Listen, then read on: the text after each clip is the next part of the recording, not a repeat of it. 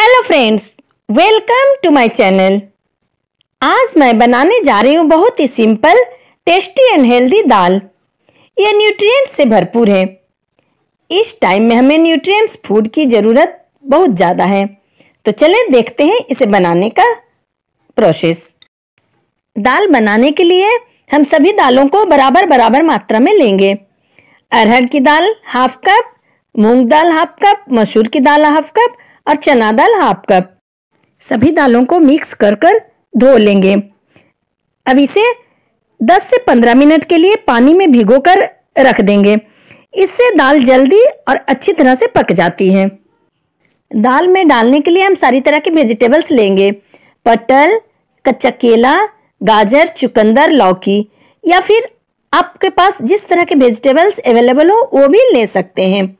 आप अपनी इच्छा अनुसार वेजिटेबल्स ऐड कर सकते हैं। सारी वेजिटेबल्स को हम लोग अच्छी तरह से धोकर साफ़ कर लेंगे और बारीक काट कर रख लेंगे। अब हम दाल और सारी सब्जियों को मिक्स करते हुए कुकर में डालेंगे। अब इसमें हम डालेंगे हाफ़ लीटर वाटर और वन स्पून हल्दी पाउडर और वन स्पून नमक। अब इसे 10 से 12 मिनट के लिए स्टीम देंगे। इस बीच हम दाल में तड़का लगाने के लिए सारी चीज़ों की तैयारी कर लेंगे। दो मीडियम साइज़ प्याज, दो टमाटो, बारीक कटी हुई। आठ से दस कली लहसुन, बारीक कटी हुई। हाफ़ इंच अदरक घिसा हुआ। जीरा, वन स्पून। दो लौंग, दालचीनी एक टुकड़ा, तीन चार तेज पत्र हरी मिर्च, साबुत और कुछ बारीक कटी हुई। लाल मिर्च, अब काश्मीरी मिर्च पाउडर वन स्पून बटर मिर्च आप अपने तीखा खाने के अंदाज से कम या ज़्यादा कर सकते हैं। गैस ऑन कर लेंगे। कढ़ाई में डालेंगे बड़ी दो चम्मच घी। अब उसमें ऐड करेंगे हाफ़ टी स्पून हींग और सारे मसाले। अब उसे अच्छी तरह से भून लेंगे। अब इसमें ऐड करेंगे हम लहसुन।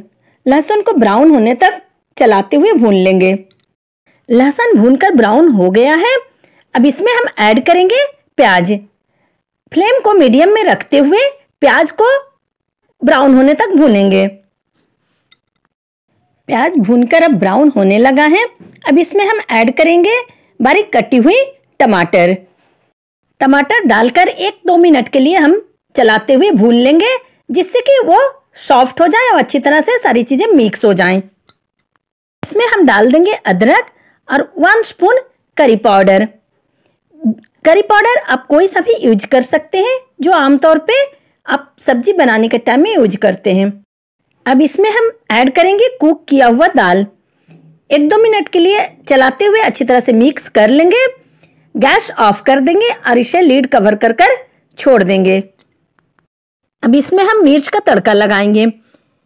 वन स्पून घी डालकर ग्रीन चिल्ली, रेड चिल्ली डालकर थोड़ी देर के लिए इसे चला लेंगे। अब इसमें हम ऐड करेंगे काश्मीरी मिर्च पाउडर। काश्मीरी मिर्च से बहुत अच्छी तरह से इसमें कलर आ जाता है। गैस ऑफ़ कर देंगे। अब इसमें हम डालेंगे दो से तीन चम्मच पानी।